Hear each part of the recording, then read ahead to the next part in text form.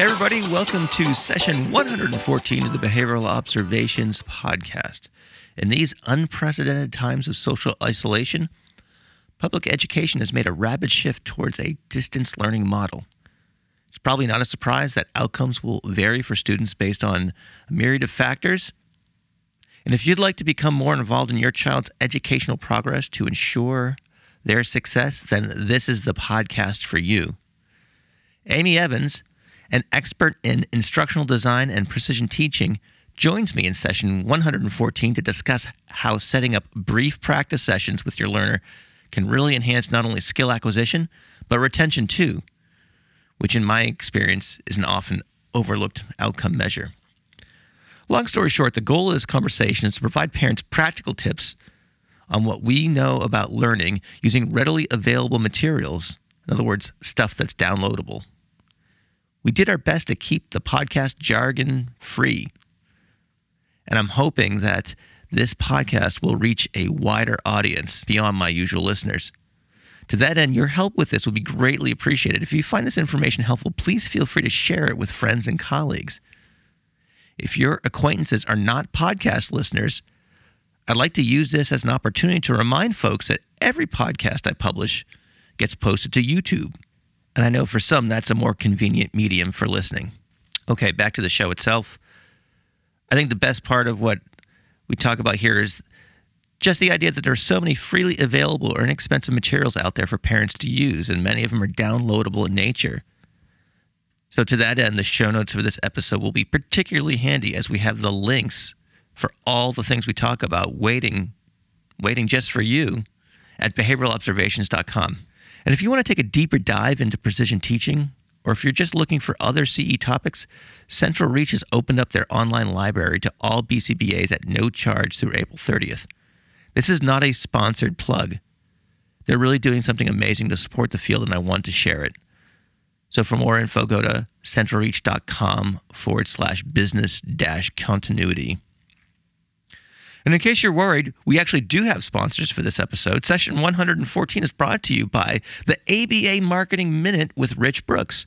Digital marketing guru and two time guest Rich Brooks and I have teamed up to provide listeners with 60 second micro lessons in digital marketing. You'll hear the first installment later on in this broadcast, so I won't spoil it here. But let's just say the message should parallel a lot of what we should strive for in our clinical practice. We're also brought to you by the Virtual Verbal Behavior Conference. Yes, when the going gets tough, the tough go online. Instead of canceling this year's VBC, session 112 guest Kelly Rich is putting the entire program online. The virtual VBC is scheduled for April 2nd and 3rd, but will likely be available afterwards in recorded form. So if you want more information, go to ctac numeral one.com forward slash podcast. That's ctac1.com forward slash podcast. Hope you check it out. All right, last but certainly not least, I've been getting tons of great feedback on Steve Ward's appearance on the show. If you like his style, the Applied Behavior Analysis Center is hosting a webinar with Steve on June 16th. The Applied Behavior Analysis Center is also offering a 20% discount on this event as well as other offerings to podcast listeners. If you're interested in checking this out, go to abacnj.com and use the promo code ABACBO20 at checkout. I know that's a little bit of a mouthful, so we'll have the full references again at the show notes, which is again at behavioralobservations.com. So without any further delay, please enjoy this fun and dare we say, educational conversation with Amy Evans. Welcome to the Behavioral Observations Podcast, stimulating talk for today's behavior analysts. Now, here's your host, Matt Cicoria.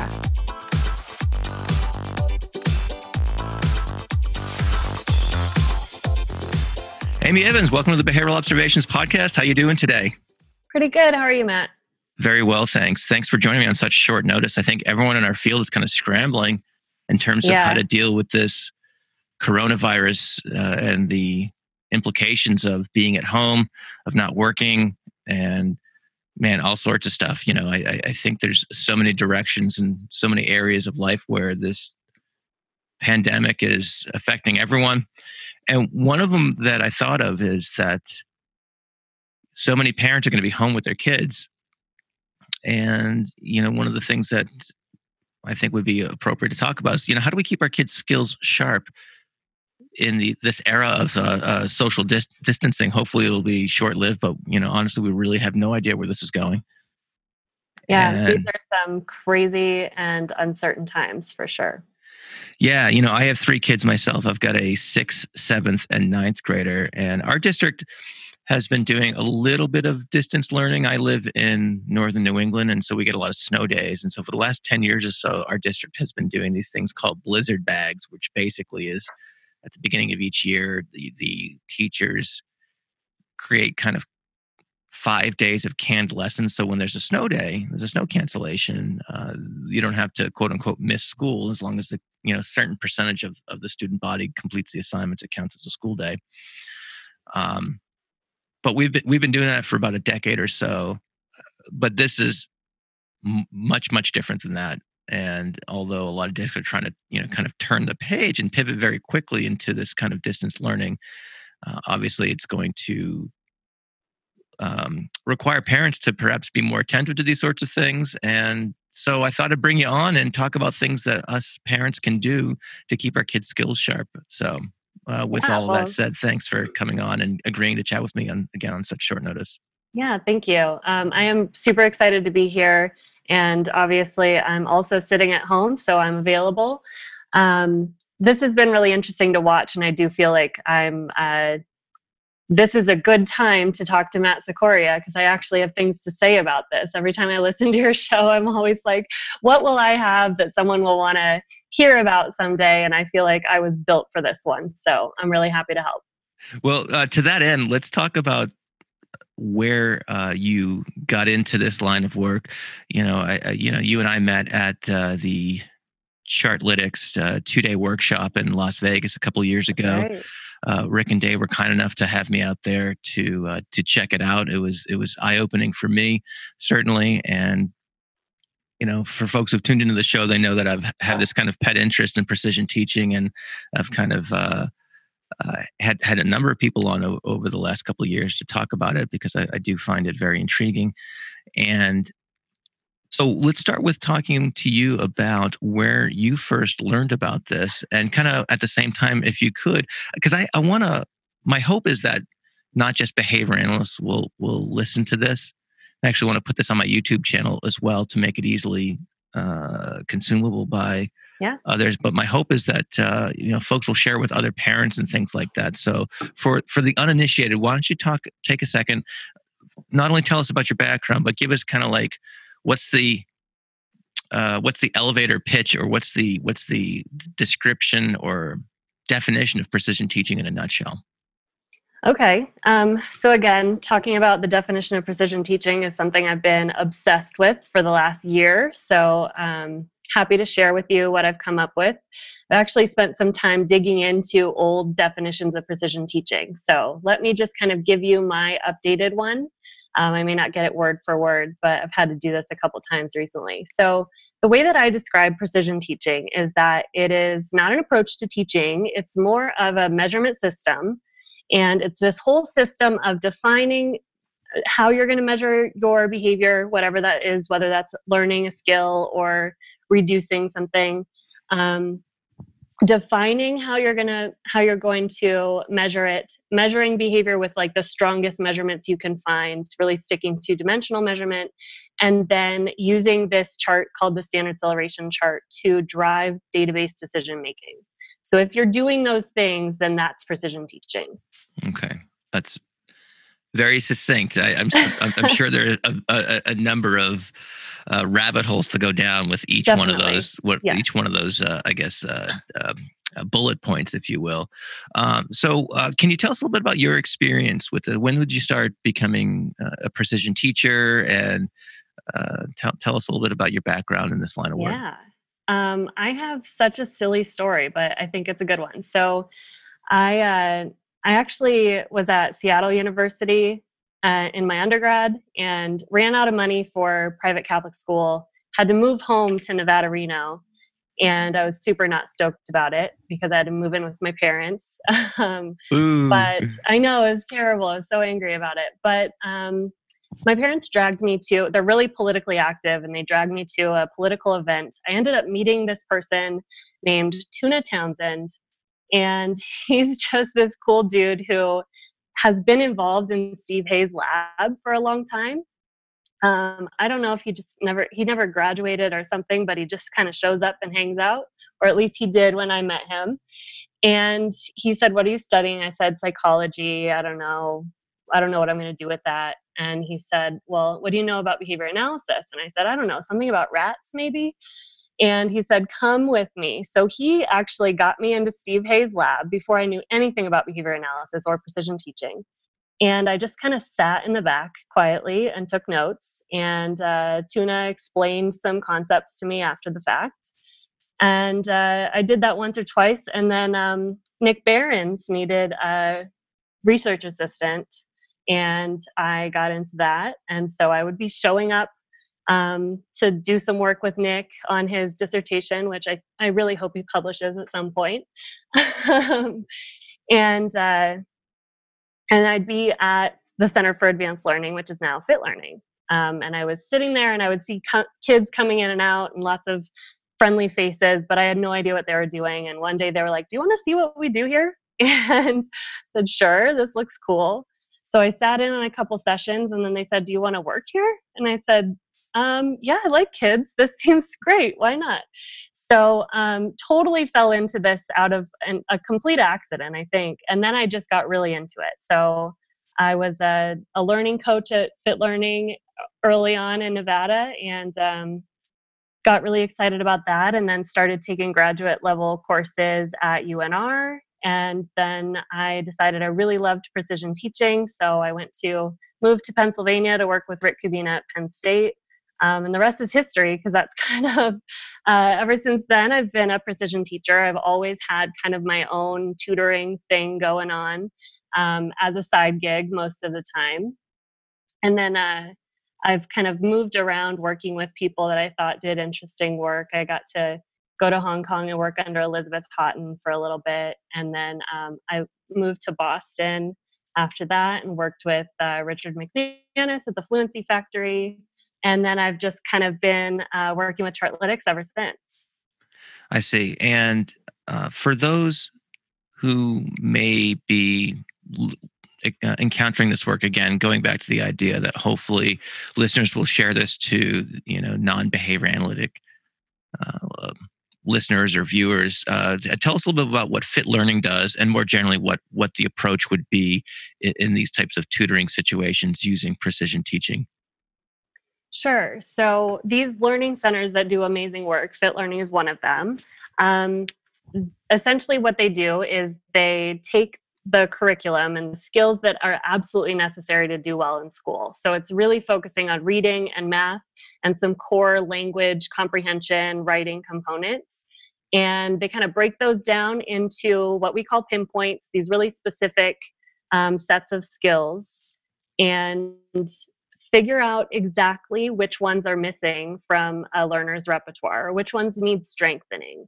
And so, what you know decades of doing this has has shown is that if we get kids really super fluent with certain skills um, then it's enough to kind of fill up that foundation and have them learn new content quicker uh, engage in school with a little more rigor um, and usually kind of dealing with learners with learning disabilities or something like that these kids end up feeling more confident and more interested in school because they've had this um, experience with success in learning.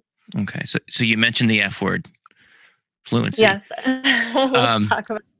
Uh, I want to come back to that in just a second, but yeah. uh, when you say breaking skills down, uh, mm-hmm. so it's not like uh, so addition is not sufficiently uh, pinpointed, if you will, or it's not sufficiently detailed uh, if, if, I'm not mistaken, right? So what would what would yeah. what would be some things that like you know, let's say someone was learning basic uh, addition facts. What are the thing? What are what are some of the how, how would you break that down into more discrete components? Just there's, as an example. There's so much to being good at basic math. And so, one thing that happens in schools and just sort of in the general education process is kids may not get masterful with some of those skills as they're going through their school years. And then it starts to get harder and harder and just sort of compound over time. So, just basic things like um, I work with a lot of kids that are getting into algebra and they're just hitting that point where you have to combine all these skills, right? But going backwards, I have to make sure that they can write numbers, read and write numbers um, at a high enough rate that it doesn't slow them down and get in their way when they have to do these more complex skills. So that's the first thing I look at. Can they even read and write numbers confidently and quickly? Um, and you'd be surprised how many kids at the high school level are still behind on that on those skills. So oh, that's oh. something to clean up. I, I, I, believe it. You know, I, um, we had some company uh, a couple months ago. Uh, some folks were visiting from Florida, and one of the people who was staying with us, uh, she was a math teacher at like one of the most, one of the highest end private schools in, in, in the state of Florida. Okay. I mean, schools that like cost more than college, you know. um, and, and she te- she's like the chair of the math department. She teaches AP, this, that, and the other thing, all aspects related to math.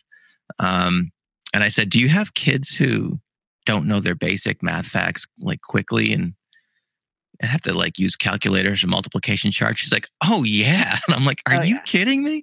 And uh, she said, "Absolutely." So these things, I think, for some of us who you know, I, I what what I want to kind of avoid is the kind of back in my day stuff because uh, I, I, do plenty of that as it is, uh, you know, um, as someone well into their forties. But uh, I will use that here in this case. I think a lot of the you know, uh, kind of old school kind of uh, repetition and things like that.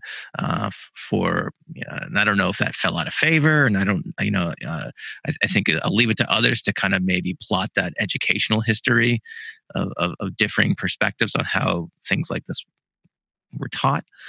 But uh, yeah, it, it seems less common these days and again I, I i really feel like i'm like this close to saying i walked uphill both ways in the snow to school barefoot but uh, yeah, anyway, well, so I yeah, uh, I guess long story short is that you know these things are inc- seem to be increasingly common just based on my anecdotal observations and just chatting with other people who are in these areas where they see these things firsthand.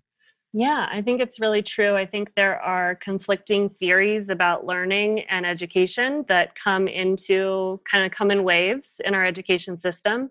And so kids are kids these days are um, you know just kind of guinea pigs in that process. And uh, the best thing we can do for our society, for our children right now, is to really look to where the research says what what works. And there's a lot that we already know about what works, and um, there's a lot of great curriculum out there. There's a lot of amazing materials, and there's a lot to be said for this concept of building these basic skills up to high levels of competency or proficiency and then seeing how we can expand from there. Um, I think a lot of people get that. Um, they may get that concept, um, but applying it can be hard in the classroom because there's all these other things. You have to move through the way our system is set up. You've got to keep going um, through the curriculum, whether kids are ready for it or not. So uh, I don't blame the system. I don't definitely don't blame teachers or parents. I think it's a complicated, very complex thing that we've been dealing with with our with our children for years. I'm someone who grew up in California. Um, in the age of whole read whole language reading. So i was one of those test kids and i learned how to read magically um, for other reasons. Through exposure but, to the material right? Yes exactly. So there's there's another thing that's um, i don't know the exact statistic but i've always found this really interesting. And i think this is something that i heard from kent johnson at some point. Um, something along the lines of 60 maybe 60% of kids will learn in the absence of any meaningful instruction. Like some kids just get exposure and still figure it out. Yeah. And that makes it look like our teaching is effective when really we need to be focusing on what works for all kids or, you know, that other 40 or 30%, whatever it is. So I might be messing up that statistic, but I think it's a really interesting way of looking at what we're doing. Yeah, I think another way of looking at it too, and let's let's just for for sake of argument, just assume that that's true.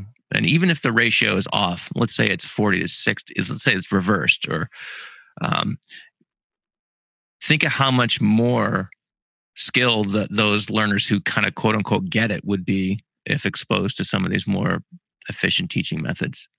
Oh yeah. You know? So uh, I think I've, about uh, that sometimes. I've had the opportunity to um, to work with some really gifted learners, and seeing what they can do when you bolster those skills is really amazing. I have to imagine, yeah.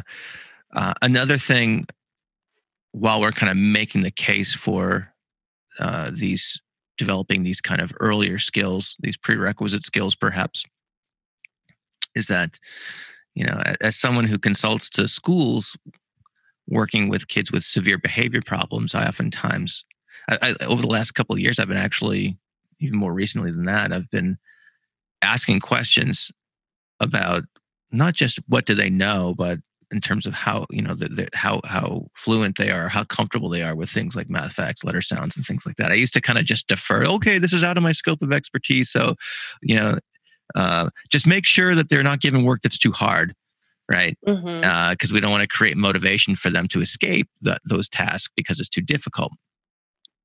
Uh, but I've since kind of uh, um, tried to get my uh, um, my foot in the door a little bit with some of those things by by saying, okay, well, not you know, because a lot of people would say, oh yeah, yeah, they they they know fill in the blank skill, right? That one kills me. And uh, they may be accurate. Uh, you know, there was one kiddo I was uh, asked to do a behavioral assessment on, um, and what I did is I printed out a piece of uh, paper that had a bunch of math facts on them. I said, "Well, you know, let's give it a go. I'm going to time you. It's no big deal. You know, just I just want to see, just go as quickly as possible. Don't worry about making mistakes." Uh, and he was 100% accurate with these math facts, but he was counting on his fingers. Mm-hmm. He's a fifth grader. Uh, and these are things that, you know, should have been fluent, you know, two and three, maybe four years prior to that. And, and then we're wondering why he's melting down when they're trying to teach long division when you have to add, subtract, multiply, divide, you know, blah blah blah. Oh, yeah. You know, and and uh, so again, I, I, you know, not to belabor the point, but I think the case for not just being accurate but but quick uh, is certainly um, certainly important. So again, bringing it back to our topic, you know, whatever parents can do to help practice those skills, I think would be really helpful information. And before we get to that, I want to come back to this this concept of fluency we are kind of talking around right now and and um, is there you know i always thought just a fluency is the combination of accuracy and speed is there a different way or am i missing something or or what what how would you describe uh, the, this this concept we call fluency Today, I'm going to share with you how to develop a more effective website for your ABA practice in one minute. My name is Rich Brooks, and I've been developing websites for therapists and businesses for over 20 years. It all starts by focusing on the needs of your ideal client or referrer. Your website isn't about your practice, it's about the people you serve. People enter your site only thinking about themselves. So if you start off your homepage talking about how experienced you are, how long you've been in practice, and all the awards you've won, they're going to get turned off and leave. But if you immediately address their needs, their concerns, and their pain points, they may just stick around to learn more. Use language that's friendly and helpful, not jargony. Write like you speak to concerned parents or caring referrers. Lead your guests with helpful next steps at the bottom of each page and ultimately to a contact form so that you can turn this into a conversation. I couldn't include everything I wanted to share in just one minute, so for more advice on creating a more effective website, visit takeflyte.com slash ABA Minute. Yeah, so there's a couple things. First of all, that accuracy plus speed um, definition is one that I used for a long time and that a lot of people can kind of conjure up when you say, What does fluency mean? Um, and I think one of my favorite definitions that I've found recently is from Johnson and Street in 2004. They say performance that's flowing, flexible, effortless, automatic, confident, second nature, and masterful. And I think that's really important um, a good way of looking at fluency because it really helps us understand that it's not about it's not really about speed it's about a certain frequency or a certain speed. So it's not about fast, it's about a certain speed and a certain level of accuracy at which these things kind of come together. So there's sort of a natural um, frequency or rate of response that feels that way for different skills um, where you feel confident doing it it's automatic it's effortless those are the things to look for um, so we kind of know it when we see it with fluent responding, you know, when there isn't this weird look of hesitation or frustration. Um, and, and there's usually sort of a, a feel to it. But the other really important thing that I try to remind people about fluency is that it's not so much, we, we have a tendency to measure fluency by looking at accuracy and speed because that's what we can look at in the moment and say, is it fast and is it accurate?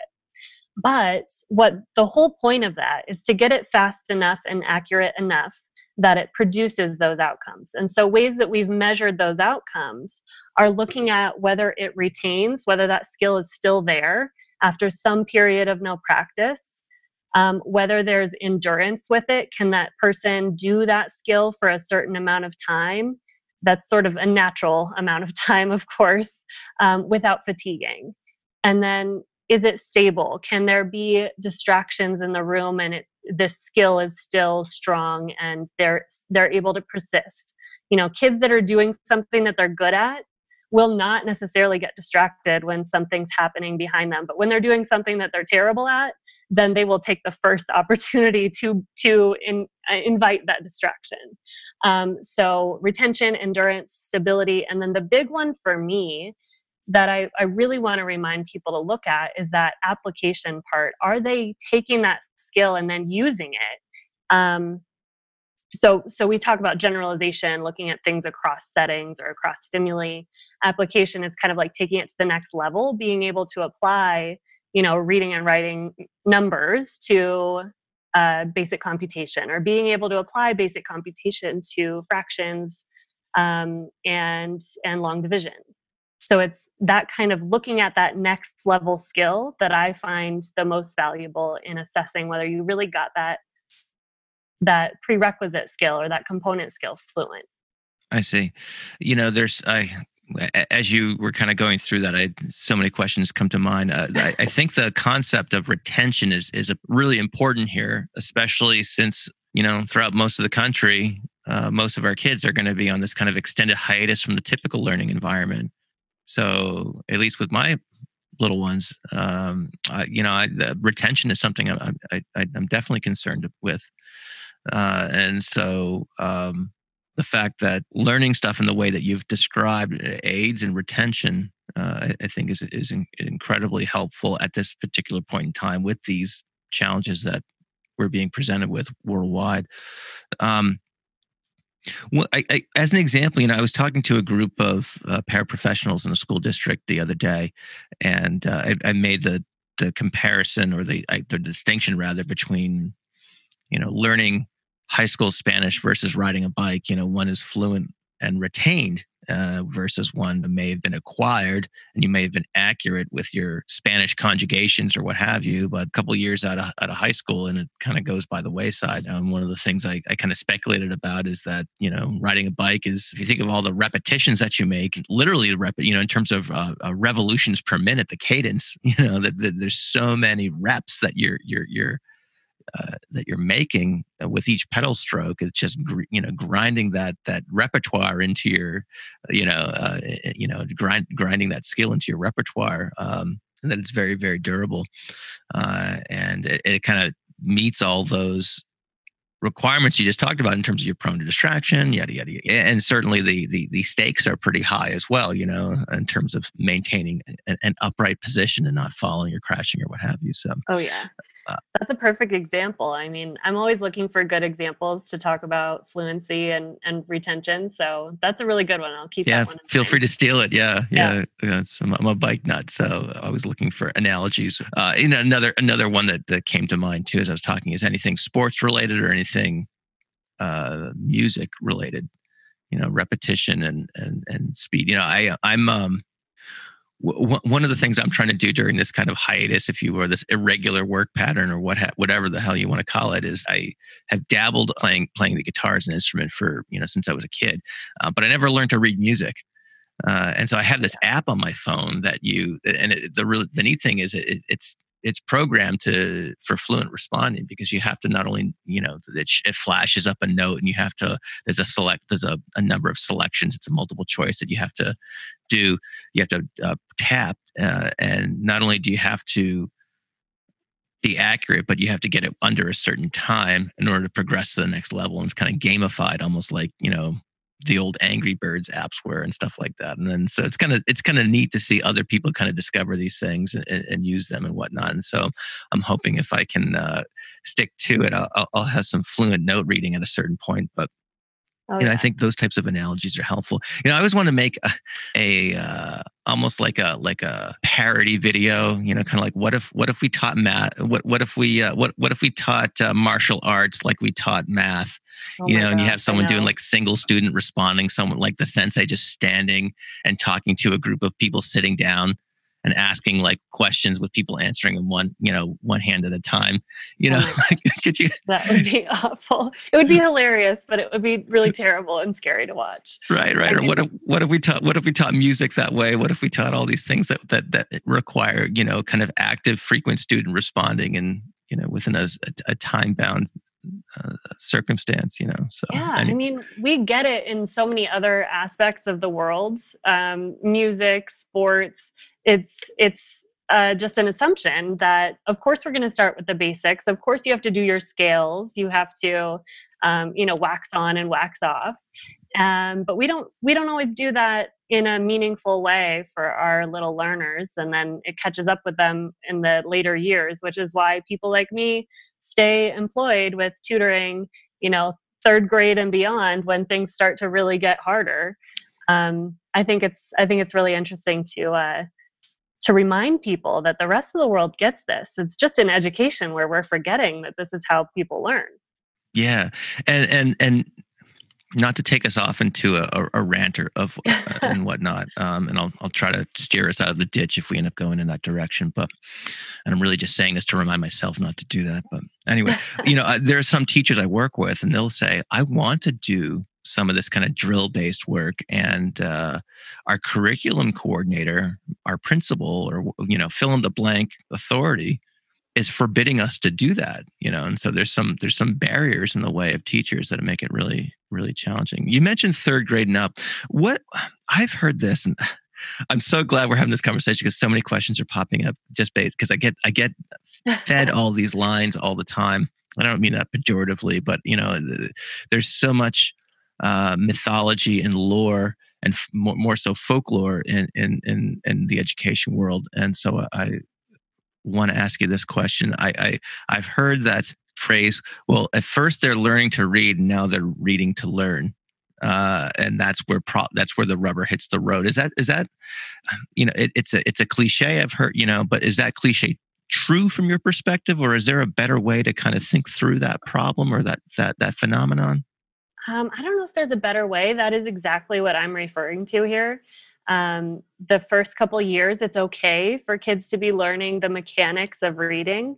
And it's usually around third grade that text gets a little bit longer, and then kids are supposed to be reading aloud. And the, the work on teaching mechanics of reading um, falls out outside of the purview of the, the classroom for typical third graders.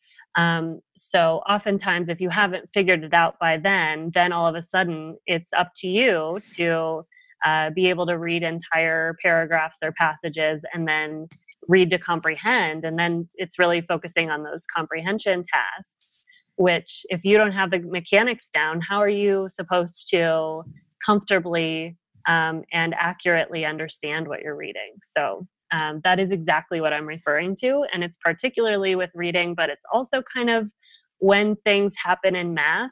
Um, if you don't, if you didn't really catch on to basic, um, basic concepts, basic number sense, then when you start to have to do these uh, ad- more advanced computational tasks, that's when it's it's still around the same time that that starts to get harder and and it starts to be clearer which kids are stuck and which kids are ready for that Okay. All right. Cool. So that's a myth that is that is not busted. All right. Very good. All right. So we've been uh, again just kind of plotting through the case here for for for this type of um, focus. Let's talk about what parents uh, again can can do. Um, you know, I, I think it's unlikely unless someone has access to. You know, I don't want to get too much into the standard celeration chart because I'm, I'm guessing that many listeners and viewers won't have access to one. So um, uh, we can maybe talk about that towards the end uh, and, and, circle back to that for those you know kind of super eager beavers who want to you know uh, d- dive into that. Um, what I'd rather focus on is what people can do with the resources that they have available to them, either maybe even within their house or maybe stuff that's available online, uh, and then what folks can do with those materials in terms of how to practice and things like that. I'm wondering if the latter might be a better place to start in terms of okay, how do you how do you want to practice and what would be some examples? Yeah, I think if we kind of set the stage for what this could look like and then we can talk about materials because I'm I've got I'm kind of like a curriculum hoarder and uh, I've learned a lot over the years, especially kind of working with kids of all ages. I've learned a lot about what's cool and, and useful, um, both digital and printable. So I've compiled a whole list for you of things, and we can go through some of those in more depth. Um, but I think setting the stage for, let's say you have, you know, in a perfect world, you have plenty of time, you have a whole setup, a classroom set up in your home. I mean, these are kinds of things that you're going to have to improvise. Um, most of us do not have those kinds of luxuries. So I do want to acknowledge that whatever we're saying from here on out and these suggestions we're making are definitely for um, you know I, I don't want anyone to feel bad if you don't if you can't set the stage.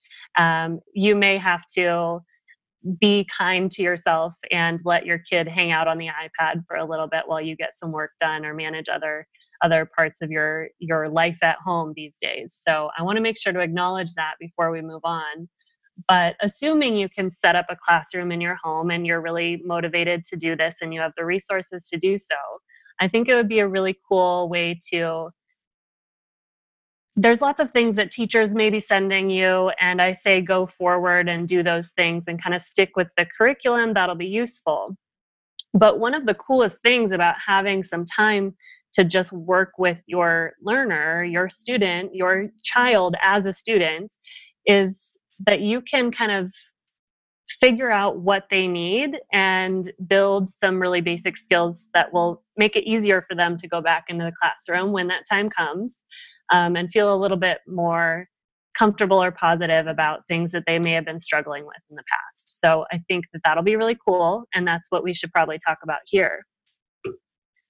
So, um, yeah, so so in order to build fluent skills, there's a couple things. First, I like I like to think about it as you want to find those prerequisite or component basic tool skills that are foundational to whatever might be a struggle or um, or seem scary to your to your kid right now. And so you may want to follow what they're asking for what you're seeing in their homework or what their teachers have told you about where they're stuck.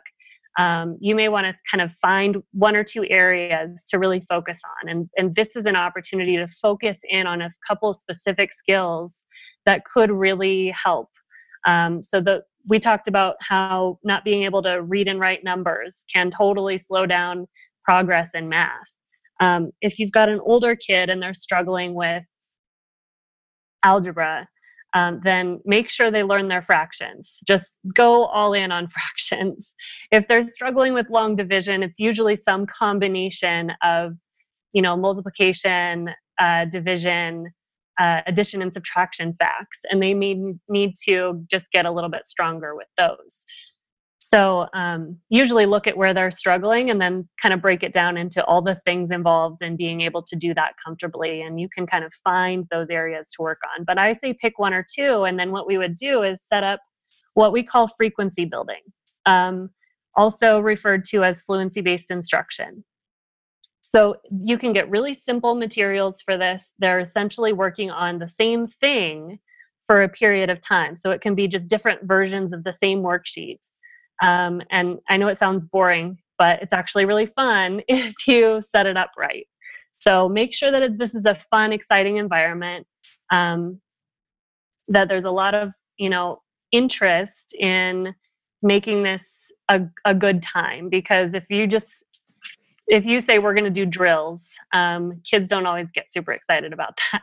That's a tough sell, I would imagine. yeah, yeah. So don't don't fall into the drill and kill um, world. But this isn't drill and kill. This is focused practice on important critical skills. So, what I would recommend for frequency building, the way this is set up is you have some sort of material or some sort of setup where they can kind of work on the same skill, whether it's addition facts, and maybe you want to break that down into a smaller set of facts so they can get those really strong and then build on that and do another set of facts. Um, so maybe they're doing a whole sheet of that. Maybe there's like 50 or 100 on the page, whatever. I've got a few materials for you, whatever you can find, lots of opportunities to just keep going at their own pace, what we call free operant responding. Um, they should be able to just sort of set their own pace and you can time them and see how far they get in a certain amount of time. Then, what you do is you practice that same thing a few times, give feedback in between, kind of work with them on if there's anything that they need to be taught more closely or um, that they need to do extra practice on, spend some time with them, just kind of uh, uh, with a whiteboard or something like drilling those couple of facts that they were struggling with in their timings, and then go back and do another one, another timed practice where you can see if they beat their last score, whether they get more correct, more accurate, or faster. Um, and then usually you can sort of see that grow over time. Everything takes practice. Nobody is fluent on their first try. So all of these might take a couple of days or a couple of weeks to really master. But frequency building is that process of doing a timed practice, giving some sort of feedback, doing some extra coaching, whatever it takes, doing another timed practice. And so if you have multiple kids or you have like one kid that kind of help a younger student, you can even set them up to help each other and uh, make it kind of a, an engaged activity where they get to decide what do we need to do based on how we just performed. Should we practice again? Should we get help and spend some extra time on wherever we got stuck? Um, so getting the kids involved in in that decision making process about what to do based on how they performed is a really cool way to also get everybody involved and kind of make it more interesting more um, student centered if you will all right cool so let me just make sure I have all the steps correctly. So first of all, we have to obtain some materials, and mm-hmm. um, you sent me a, a, a, list of several bullet points uh, where we can get some materials, and I'll include those in, in the show notes of this episode.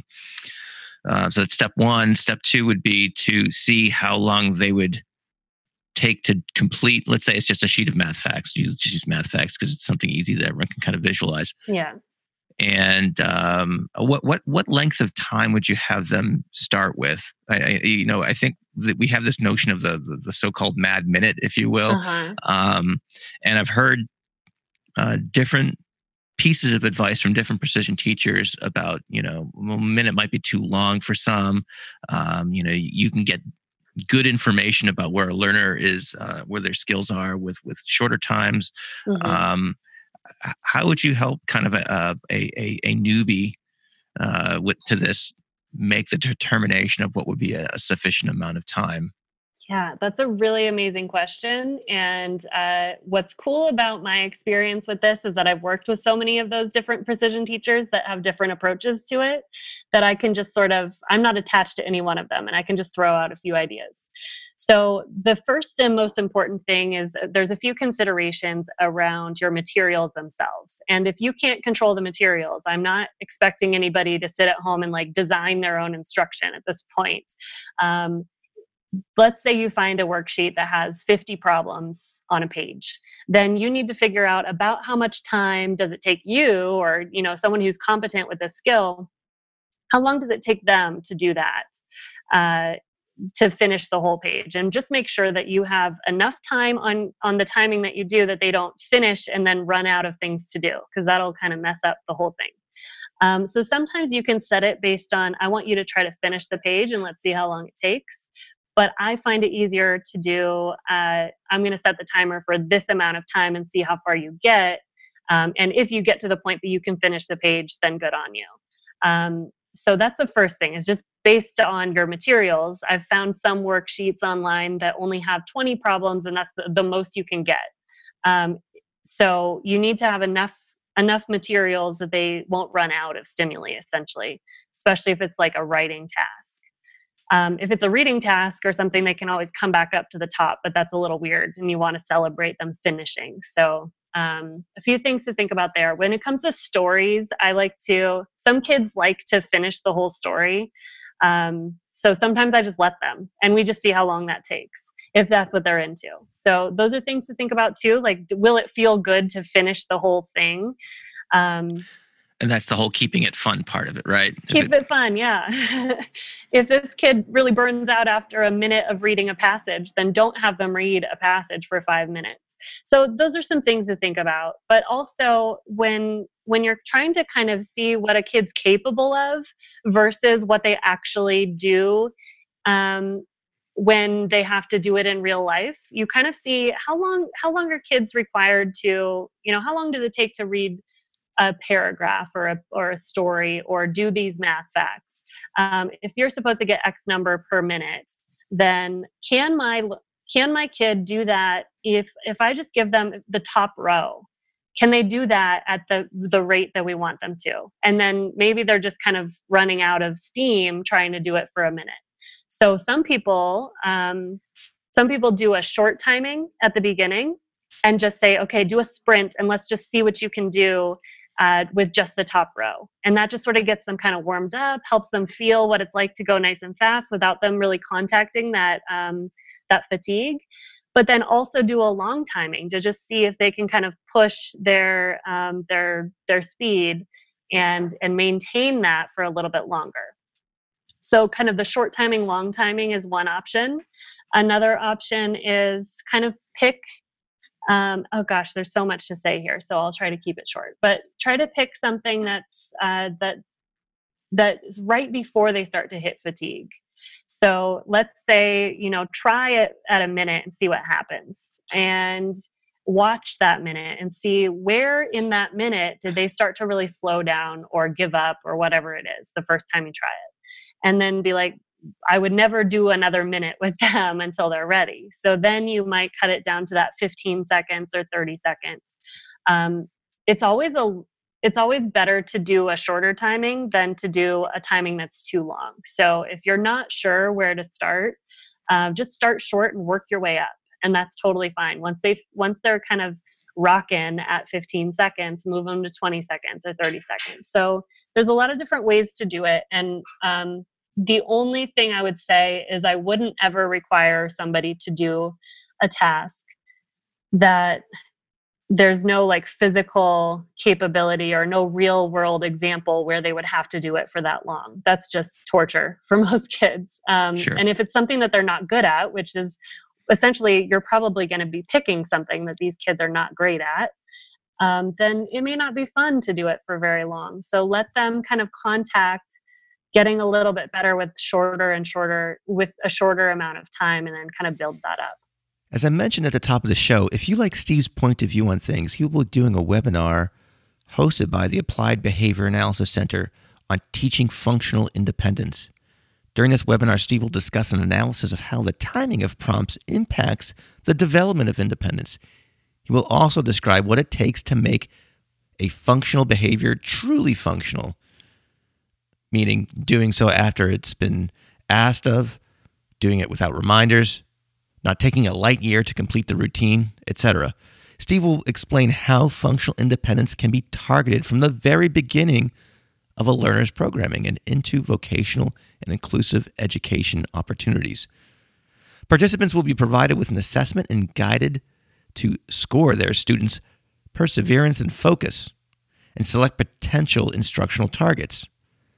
The team at ABAC is offering listeners a 20% discount on this webinar, as well as many of their other offerings. Just go to abacnj.com forward slash products forward slash teaching functional independence and use the promo code ABACBO20. I know that discount code is uh, a whole eight characters in length, so just go to the show notes of this episode and I'll have the links waiting there for you. All right. So, because I know people like concrete guidance, Yeah. uh, would it be fair to say that starting in the 15 to 30 second range would be uh, appropriate? Can uh, I know there's a million different considerations based Mhm. on all the different ramifications that you just talked about, but would that be, uh, you know, just for someone who might be hesitant to try this because of all the different um, things that you just mentioned? Uh, would that would that be kind of like a default range? So I'm going to say, for the purpose of our conversation today and the people that might li- be listening today, let's go with it. Yeah, I say because, 10 we're to not- 15 seconds, you're fine. Yeah. Um, Yeah, keeping in mind that that this is not we're not building a a a uh, a long term precision teaching intervention. We're we're trying Right. to help just maintain some skills and perhaps build uh, you know uh, uh, improve some skills uh, you know while in, in the midst of coping with all this other stuff going on in our lives. that's right. Yes. All right. Excellent. So sorry to put you on the uh, on, uh, on the hot seat totally there, but the um, the answer is always that it depends on the learner. So that's the other thing that I'll just say about that is let your kid tell you. They can say like, "Hey, I want to do." Just ask them, "How long do you want to try today?" and see what they can do. Um, it's really amazing when you involve kids in that process. Um, what they what they're willing to try um, when they get to kind of control it a little bit more. So don't be afraid to ask them what they want to do. And if they say, I want to do five seconds, then why not do five seconds? It's better to do multiple short timings, um, at least at this phase. It's better to do multiple short timings than to do like one boring long timing and then like not have them enjoy it and not have them have that feedback in between and kind of contact multiple opportunities to contact success.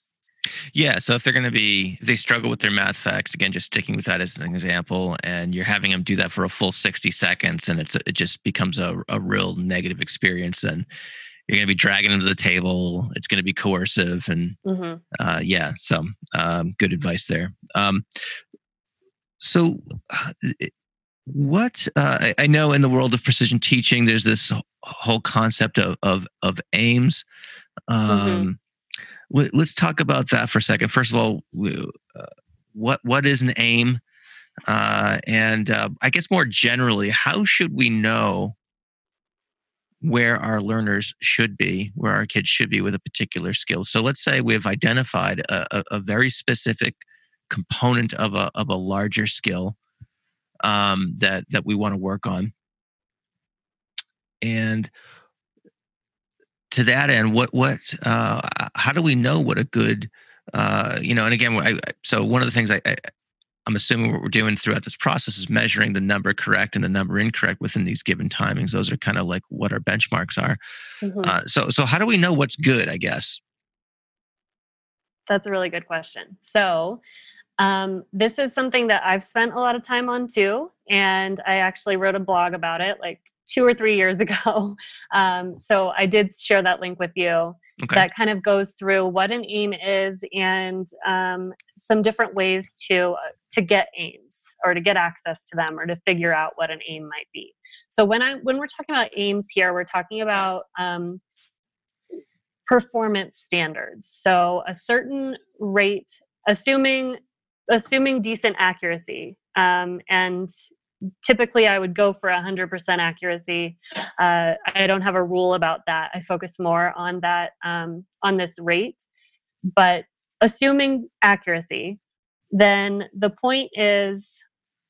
What is the rate of response for this skill? And it's usually in a per minute um, rate but you can kind of convert that for what would it what would it have to be in 30 seconds or 2 minutes or whatever so what is that rate that is most likely to produce those outcomes of fluency that we talked about so retention endurance stability application what are the rates at which if a learner can do it at this rate and they can do it at that rate consistently, then they're they're able to get those outcomes.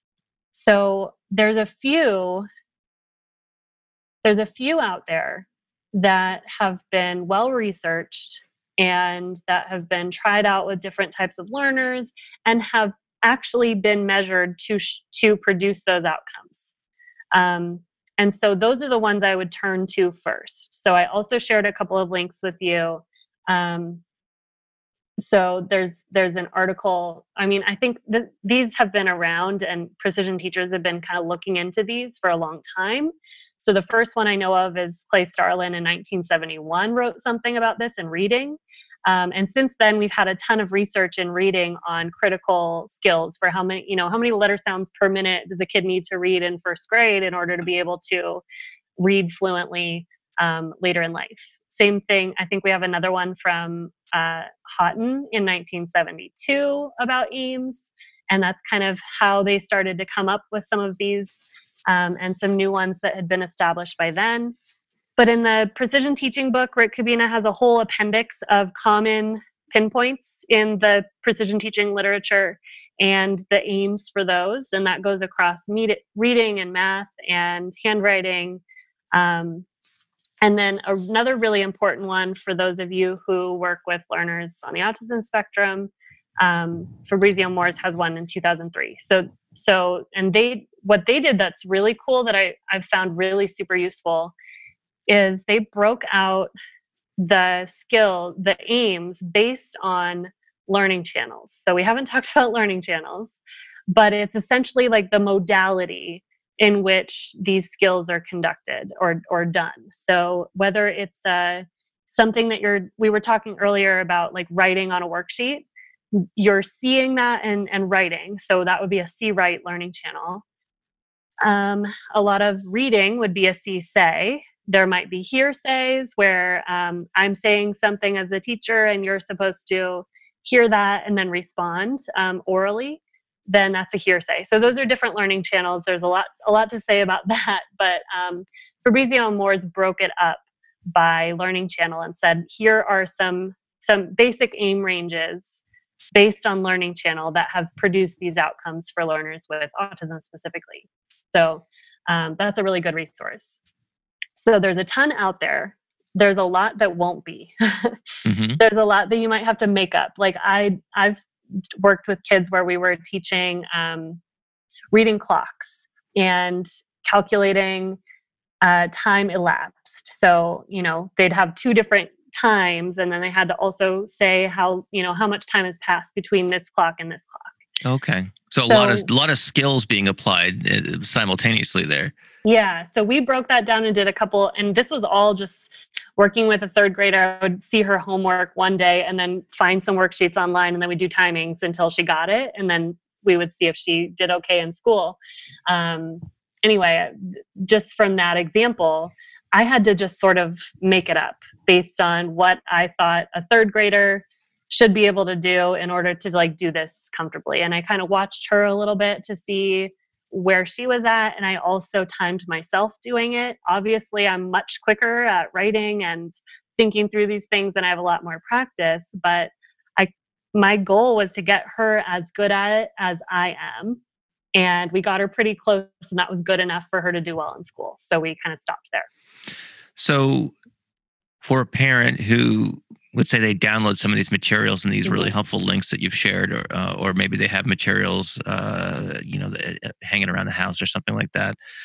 Um, perhaps the st- most straightforward way to, to to figure out that is to uh, at least based on what I'm hearing from you, is to kind of just try it themselves with some timings and you know kind of see what uh, what um, uh, how they would do, and then uh, uh, use that as kind of uh, something in the ballpark to, to shoot for. Yes, Yes, and aims really are a ballpark because they're first of all they're always expressed as a range, so it's like you know 80 to 100 per minute or um, or you know, something along those lines. And sometimes it's switched where it's 100 to 80 per minute because the whole goal is to shoot for the stars, try to get them to that highest range.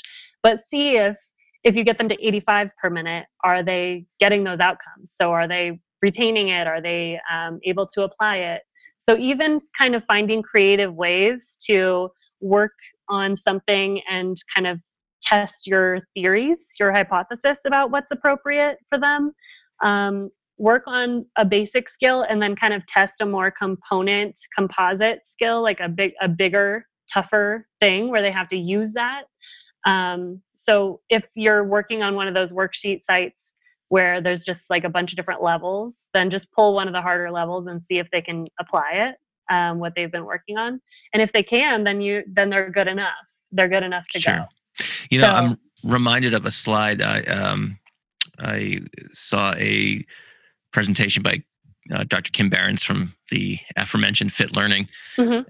uh, and uh, she shared some data from a learner that uh, uh, what they did is they did weekly probes of reading nonsense words, but every day they they were doing their you know um, letter sounds, and it, they went through their whole like reading scope and sequence uh, and but but once a week they would probe on again reading nonsense words, which perhaps would be, represent the terminal skill. Mm-hmm.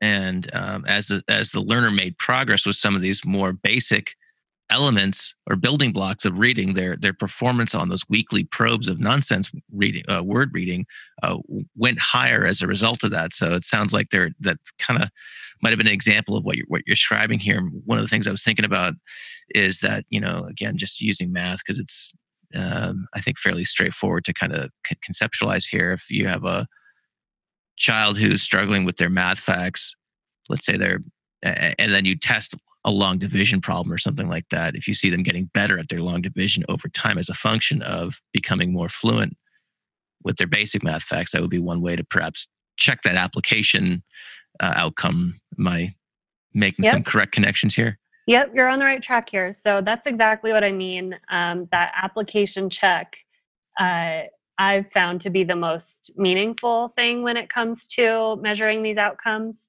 Um, we're kind of today our conversation is kind of skirting around this topic of measurement, which is uh, really central to what makes these um, these processes long term successful.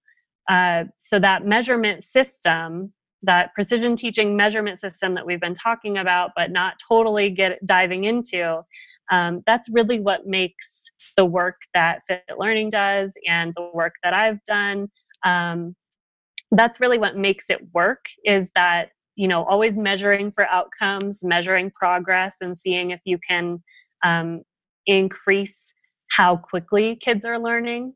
Um, so the standard celeration chart is a really amazing tool for that but i also want to acknowledge that you can you can do frequency building and you can build skills but it, as long as you're just kind of taking this um, take kind of a, a scientist's approach to it though. You're kind of testing your hypothesis. If i get this kid this fast at this skill or this strong with this skill let's let's not even say fast. Um, you know if i build this the strength of this one skill can i is that useful to them in their world? So finding ways to kind of have those real world checks. And that may be you know you may be sitting home at with your kid and they've got their homework worksheets or their at home assignments or whatever, that may be your application check. Just all these little things that we're working on in the background. Am I seeing that translate into their real world? And it may not, it may be too much of a gap to see that translation. So that's why, again, why precision teachers have so many of these skills locked and loaded that we're ready to work on because we know that once you get you have to get enough of those really strong before you start to see those bigger outcomes. But um, just kind of playing with it i think is a good idea. Uh, don't get stuck on a specific number because that number is based on based on a group of kids at some point um, that when they got that that fast they were able to produce these outcomes but for your kid you can you get to watch them and see when you know at what point do they look fluent? At what point do they look comfortable with it? At what point can they really use that skill and you think they're not going to forget it this time? So you could either you, you could even wait a couple days don't touch it and then be like hey do you can you still do this thing that we were doing a few days ago? And if they can then you've done your job. So that's another another way to just sort of I won't give you the entire measurement system, but I do think that um, just kind of taking that approach of being a scientist and being curious about how these things are all connected will really serve you. Yeah, I, I, think that's a good point. And, uh, you know, I, you know, I think we're both very much tempted to launch into the rationale for using the standard celeration chart, but I think it's perhaps beyond the scope uh, at, at, this stage. Um, and maybe that's something we can circle back to at, at a different point in time. Sure. Um, for those who are, you know, really bought into this, but I'm again, I'm just trying to think of the the average listener home with their kids, trying to, you know, um, with with enough stuff on their plate, enough challenges, you know, eh, that, that they're being faced with. That uh, you know, what what's I get what's I suppose what I'm kind of rambling towards. What's the minimum effective dose, if you will, uh, that they can um, supply to their children to help them um, both retain and and improve in some of these areas. So uh, for the more for the more I guess um, um, science inclined or experimentally inclined uh, parents uh, know, want to come back just to this this idea of um, the uh, the rate of response as as you know what we're looking at here in terms of the um, the aim and so you know we had the whole discussion about okay what's the what's the appropriate length of a timing and yada yada yada so just to make sure i'm understanding it correctly so our our listeners can apply this in a way that that makes some logical sense so basically if let's say someone settled on 30 seconds for whatever you know whatever skill they're they're working on as the timing and they're mm-hmm. measuring the number correct and number incorrect in that yep. 30 second timing uh, to basically what the, the, the I know there's a number of different ways to do this. I know some people will repeat that twice and then add everything up to get the total number of correct and the total number incorrect for a full per minute. Mm. Um, okay. I've, I've, I've heard that, but I've heard just people just kind of multiplying by two. That's what I do. Okay. Yeah. So yep. if you're if you do a 30 second timing, you you you multiply the correct and incorrect by two to get your your per minute. Um, or if you're doing a 20 second timing, you multiply by three and so on and mm-hmm. so forth. So is that is that how what you would recommend? Yep, that's what I do. So um, I when yeah, you you get really good at multiplying by twos, threes, and fours because 30 second timings, 20 second timing, and 15 second timing. If you're doing a 10 second timing, you multiply by six to get to 60 seconds. So right. that's how it works. It's just uh, kind of what fraction of a minute is that. And then to get your per minute score, you just multiply it by whatever that is. Um, so, so, just to, just to recap, so aims are expressed as per minute, uh, and we want to have some something to compare apples and apples, and that's why you would do those multiplications. Yeah, and precision teachers are starting to um, report aims based on kind of the the ultimate counting time. So, how at what timing length are they supposed to be at this at this score? Um, and so hopefully over time we'll start to see that too. So it'll be more like aims will be expressed more like x number in 30 seconds or x number in 20 seconds is your ultimate goal um, or in two minutes or whatever as opposed to just a per minute count that everybody has to multiply. Um, so any of those most of the aims you'll be able to find on the resources that i shared are are expressed in per minute Okay.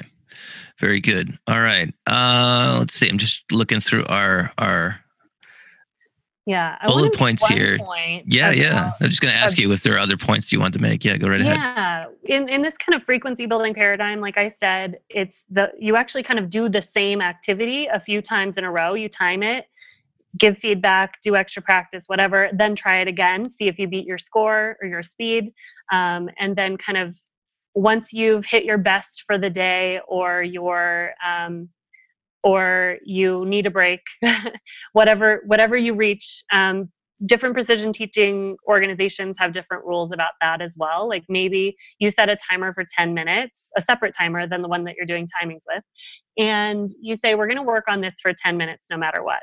Um, so you either go you either go until you hit your best score ever um, your personal best or your your personal record, whatever you want to call it. Kids always have funny names for these things. Um, your rockin' timing. I've had kids say that. Uh, so you go for your rockin' timing. And if you get your best score for the day, then you're done with that activity for the day and you can move on to a different one, or maybe that's the only one you're doing.